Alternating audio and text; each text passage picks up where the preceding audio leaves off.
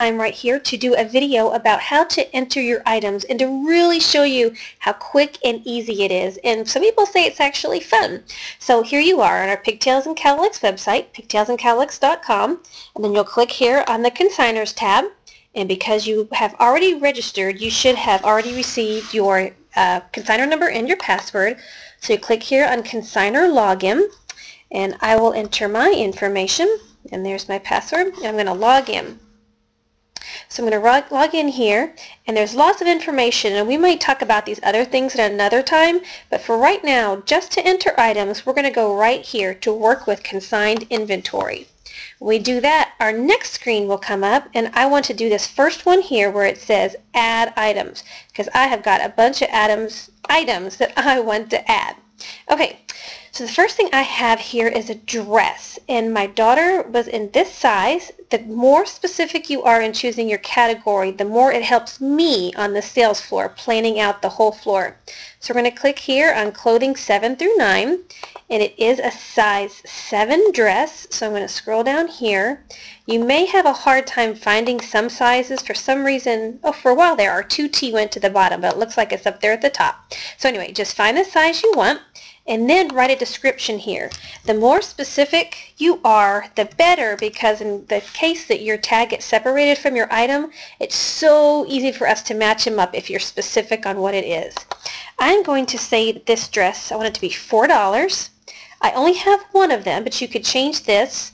Um, I do want it to be discounted. This will reflect on this on our half price day. It would go discounted. And yes, I would like for it to be donated if it does not sell and then I'm going to hit submit item. Now if you have your clothes already in a pile by size this will be so easy just because this information here will stay here for the next one. So next I'm going to sell a North Face jacket. Believe it or not we loved it but she has grown out of it. And I'm going to mark it as $25 because that was an expensive jacket.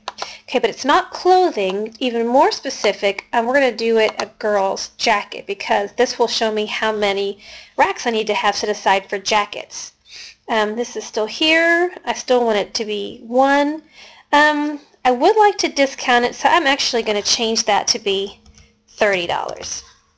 I'll mark that up to $30, but I'm not going to donate it, I don't think, because I could have um, give it to someone in the family if it doesn't sell.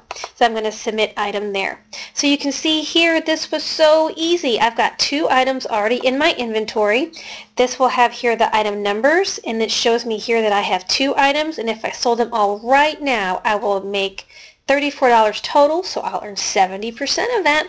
So this is a quick, easy way to enter your items. It's fast. I've had people say that after they've entered them, they've had so much fun, they have gone around to find more items. We do have a limit of 200 items you can sell. So that's it for tonight. That's the video. When you are done here, just click here. I'm finished for now. It'll take you back to your consigner homepage and you can see what else you can do next. But thank you all for watching and we will see what uh, we can learn next time together. Thank you. Bye-bye.